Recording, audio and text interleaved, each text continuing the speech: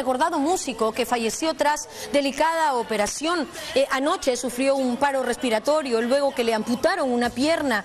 Tenía todas las ganas de vivir, pero su cuerpo pues ya no resistió más.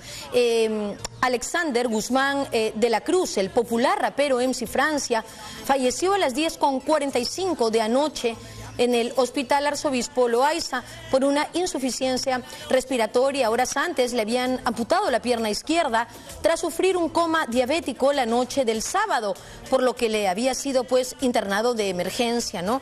Recordemos que casi eh, hace un año ya el cantante de Villa El Salvador también fue internado de emergencia y perdió los dedos del pie izquierdo. Eh, no quiero dejar que se me pase la nota sin, eh, por favor, darles un número telefónico, porque en conversaciones con la familia eh, la familia comentó que no tienen cómo eh, costear el entierro, ¿sí?